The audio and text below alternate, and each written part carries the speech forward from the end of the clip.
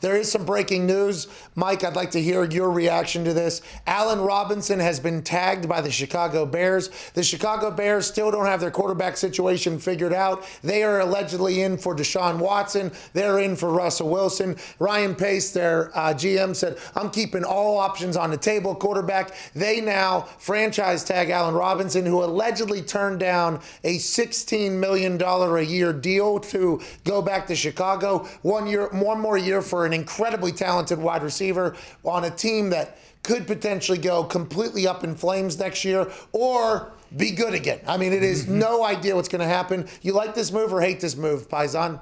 I, think you got to protect your team, right? I think you have to, you know, Cam Robinson with the Jaguars. Is he worth 13-7? No, but to replace him, it's going to be a lot more.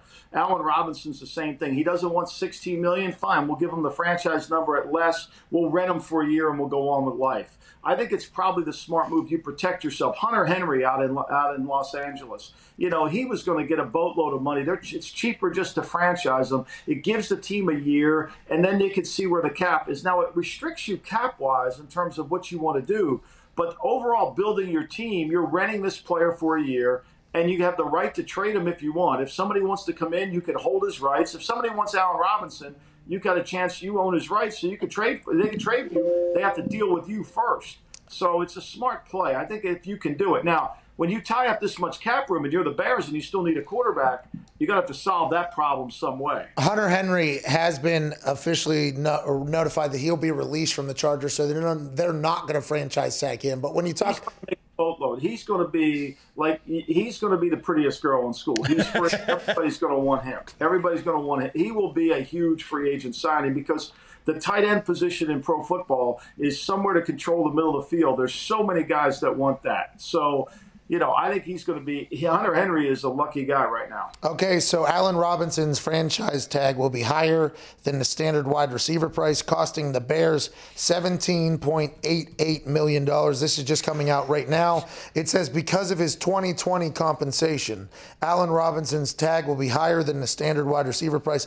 That's being that's from Spotrac, who has all this. What does that mean? Well, I don't know what that means. Well, I mean, because they he's got to get 120% or the franchise number. So whatever's oh. higher he gets by franchising them. Okay, and the franchise tag, let's go back to that because the way you were talking about how it's a one year rental and then eh, we can't afford what he's going to be because he was asking 18 a year. So I guess this is $120,000 cheaper than that, I guess, which is interesting, but it's only for one. So it's cheaper in the sense I don't have to give you a lot of cash up front. I pay you on a, I pay you on a, it's like renting a home. I don't have to put a down payment down. I, I you come in, you sign the tender, you'll get one seventeenth of that money. You'll get a million dollars a game basically to play, and then when the season's over, I have no, I, I have no dead money following you life goes on. It's a rental. It's like it's how we get into rental homes. You know, it's just easier. Players hate the franchise tag because it's not long term stability. Listening to you talk about the franchise tag from a general manager standpoint, that's never going to be something that gets removed from the CBA. I don't think. I don't think it will be. I mean, it's obviously going to be in there for 10 years. It does the players well. I mean, look, every quarterback. Aaron, Russell Wilson, they're all benefiting from the Dak Prescott contract. You know, look, Aaron Aaron Rodgers is sitting in Green Bay or wherever he's sitting right now, saying like, "Wait a minute, wait a minute, Dak's making wait a minute, Dak just got 41 and I'm at 33. Seventy-five uh, million dollars this year. Yeah. Conversation, Mr. Murphy. You know, so I, I think I think that that's that that it's even though players complain about it in the long term, it creates water to seek its level. It rises the tide around it. Oh, oh God damn, that's good.